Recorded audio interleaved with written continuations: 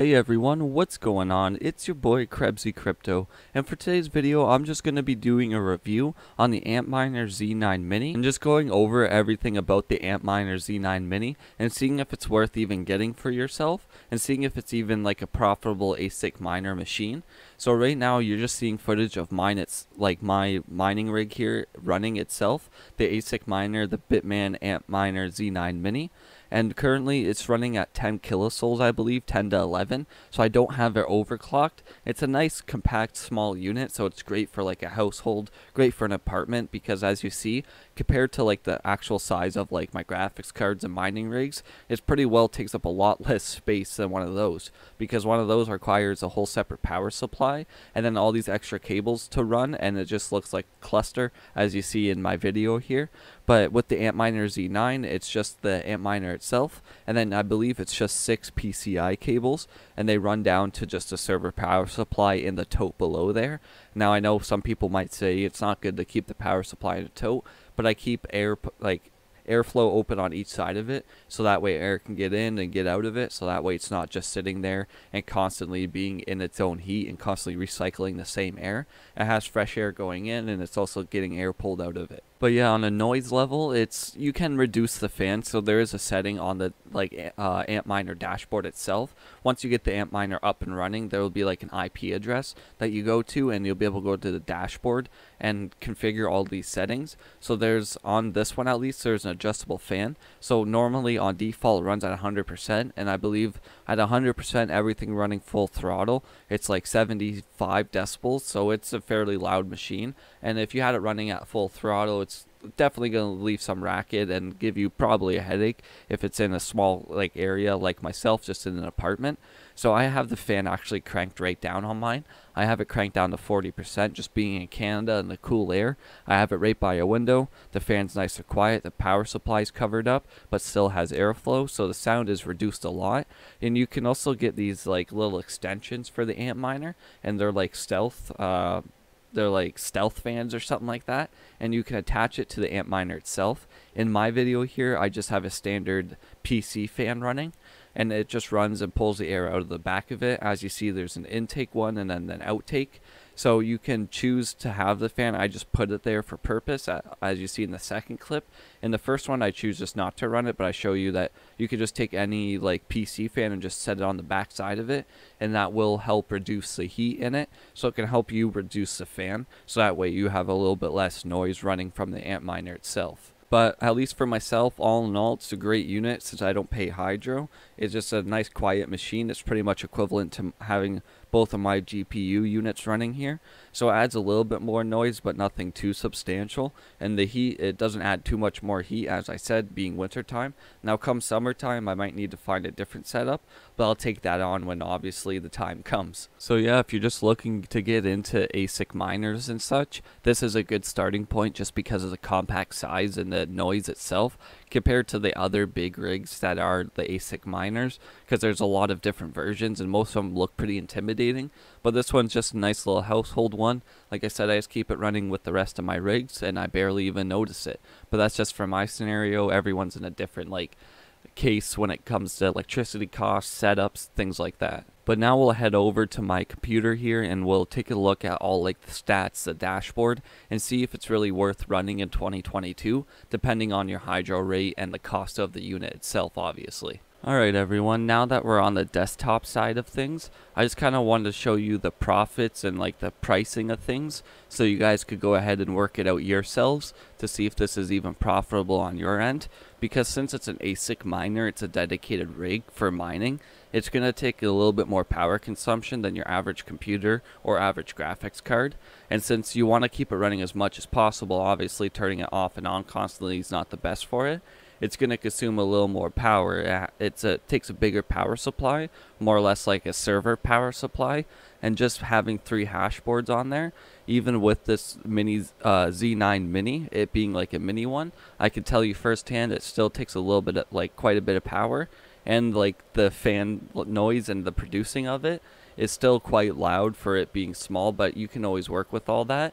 And that has like a whole dashboard I'll show you here. So normally if you have an ASIC miner, once you do get it up and running and booted and once you know it is working, you'll find the IP address of it, and that'll be through like a program that Bitmain supplies, or you can just look on the uh, Antminer itself. Sometimes it has a sticker of the IP address.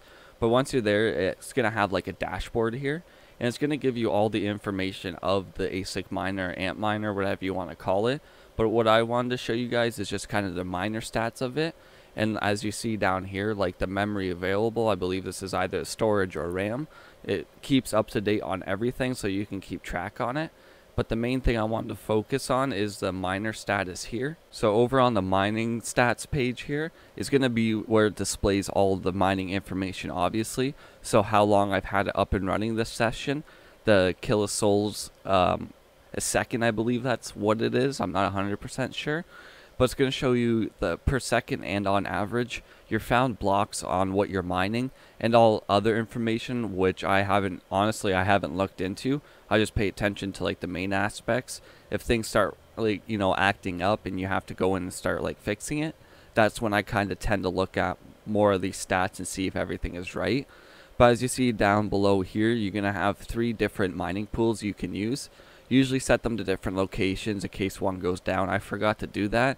I just kind of set them all to one Zpool mining pool here, but you're supposed to set them to different like uh, areas, and then the username is just a wallet, and then over here it's gonna tell you like if it's alive, if you know if it's dead pretty much. So that's pretty much if that hashboard is producing it if there's any errors with it it's going to tell you the status of it right there.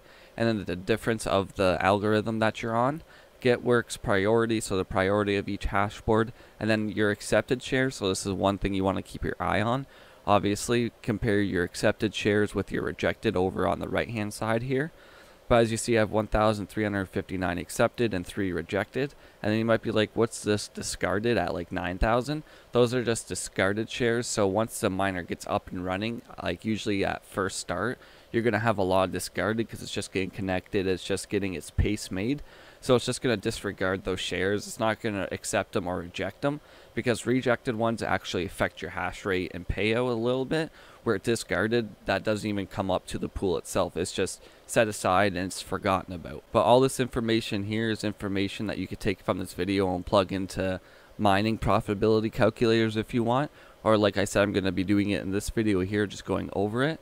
So like I've said, I'm not a huge fan of like minerstat and like mining um, profitability websites because things are always changing and it's a hard market to actually like predict itself. But this is going to give you a rough estimate on your profits and how much like electricity cost is going to come from running the actual Antminer itself.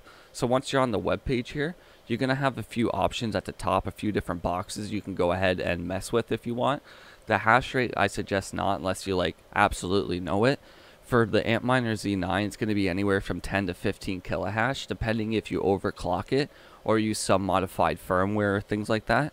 I just have mine as stock firmware, so as you see, 10.95, and on average it's 11.06. So nothing too crazy, but like I said, this is kind of like a introduction into ASIC mining. Uh, Antminer Z9 Mini is a very good introduction household miner. I'm in an apartment myself, and I've had no complaints, no issues with it running. Mind you, I have the fan only running at 40%. You can run it at 100%, but I can tell you right now that's pretty loud. And I believe that's like 70 something decibels for sound. So right there, it's going to be irritating and most likely give you a headache right off the bat. So if you can, try to set up like a nice airflow system for it. Like mine's right by a window and I can have the fan right down to 40%. So anyways, back to the minerstat page here. I'm just going to leave it at 10 kilohash. I know I could technically put 11, but just a good round number just at 10. The power consumption, you just want to leave that because that's 300 watts. That's the basic power consumption for Antminer Z9 minis. And that's running at like 100%, I believe, with all three hash boards. So I could be running a little less wattage since I have less fan power running. And then your currency, obviously, whatever uh, currency you're in. So for me, I'm in Canada, so Canadian currency. And then if you're American, you can set the USD one and then your electricity costs. So this is going to be in like cent or dollar form. So this is going to tell you like your difference in profit and everything like that. So for example, right now, if your electricity cost is over 10 cents, it's to actually hurt you to run this mining rig because you're to be losing like 20 or yeah, you're to be down negative 20 cents because it costs you 72 cents to run it and you're only making 52 cents. So therefore your profit's negative 20 cents. But like I said, I don't pay hydro, so for my case I would put like 0.0 because my hydro cost is nothing. And then you can do whatever calculation you want. You can do current, 3 hour average, 6 hour, 12 hour, 1 day. We'll just go with current. You can show the top 20 results or all coins. I recommend just doing the top 20 because that's going to be obviously your most profitable. Then once that's done, you click calculate and that will bring up your most profitable one right at the top here. And then as it goes down, obviously profits get less. So as you see here, nano Nanopool ZEC, you're going to see ZEC a lot because that's going to be your main coin, which is Zcoin. I believe it's called, or Zcash or something like that. And that's going to be the main algorithm, which is Equihash, for this Antminer here. And then if you come over to the estimated daily, it's 55 cents and then the cost is nothing because I don't pay for hydro and then my profit's 55 cents and that would be on Nanopool You could go down and see like 2Miners here has 40 cents and then there's a few others like Antpool, uh, Zergpool and even like Zpool You could do ZEC, so uh, Cash apps I was saying. There's a few different ones and profits are always changing. But we could do for an example, let's say your hydro rate was 5 cents a kilowatt. Um, I'm not sure on hydro rate cost. Like I said, mine's all inclusive in my apartment, so I don't have to really worry about that. I just pay one fee and that covers everything, and that doesn't fluctuate no matter how much I'm using. So I have it pretty lucky. But let's just say it's five cents. I know some areas pay like six to ten cents. You're still kind of cutting it close, so your estimated profit would be uh, 19 cents, and that's at a 55 cent cost and 36 cent hydro cost. And then your estimated daily is 19, and as it goes down, it gets less. But like I said, if you were to like overclock it, let's say, and I believe when you overclock it, you're not using less, you're not using more power, you're actually using less. So you could figure that out as well. There's a few different different scenarios you could go about. But let's calculate at like 15 uh, kilohash if you were able to overclock it because there's a lot of information online for that. And that electricity cost is 5 cents. You're now making 46 cents because your daily is 82. So you could mess around and let's say 7 cents. Let's see how far we could push it. And then that would be 32 cents profit. And then that would be 82 cents daily. But then if we went back down to 10 kilohash, if you didn't overclock, you'd be rocking only about 5 cents a day. So you most likely, if you're in a scenario where your hydro rates are like higher end, you're most likely going to want to stick away from the Z9 Mini in my opinion. But if you know how to overclock it and you're confident on it, you're going to run it all the time and you're sure you're going to make sure you're always keeping up on the best pool for making profits, then I don't see an issue with it. But I'm not going to say to recommend it if you have higher hydro rates. Anything really under like that 6 cent range, I know I don't, like I said, I'm not too keen on hydro rates myself because I have never really had to pay them. But if you're in the lucky ballpark and you don't have to have and you don't have to pay them or they're like pretty cheap, then a Z9 Mini is good for a household or an apartment in my opinion.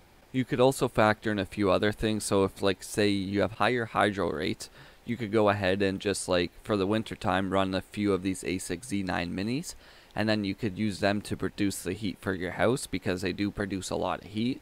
But if you get like, you know, let's say like five of them and put them around your house or put them in one area to produce that kind of heat for your home, you're saving money on heating, which could go to benefit the mining. So there's a lot of different scenarios that could come into play. Now, most of the time, you guys are probably wondering the cost of like a Z9 Mini on where to buy them. Most of the time, you can find them just on eBay or like a local marketplace, most likely.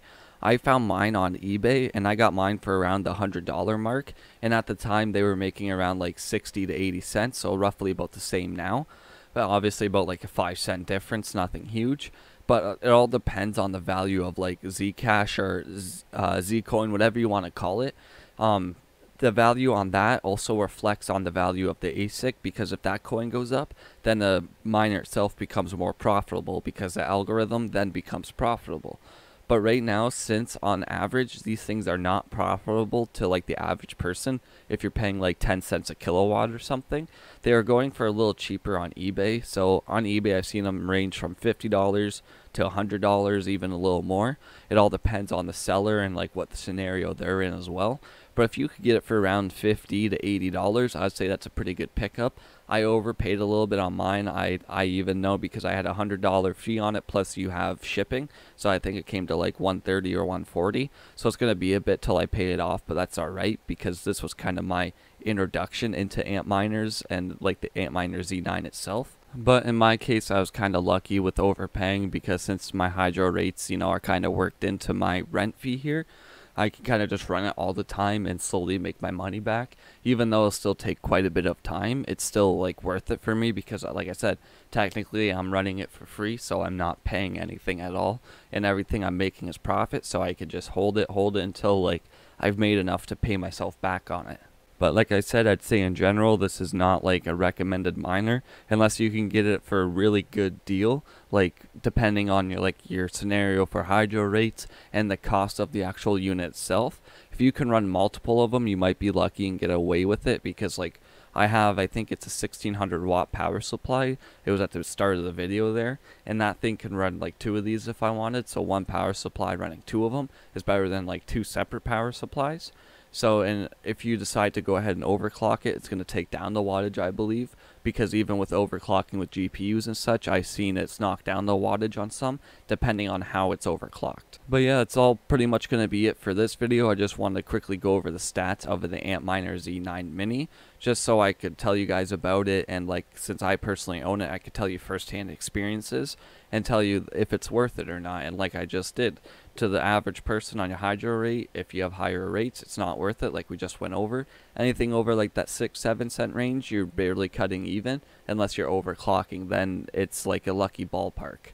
But, you know, I hope this video helps you guys with some information on ASIC miners and Antminers in general. If it did, make sure to drop a thumbs up and hit that subscribe button, as I'll kind of do these type of videos for like graphics cards too, if these things kind of pique your interest. But I hope you all have an amazing day, and this is Krebsey Crypto signing out.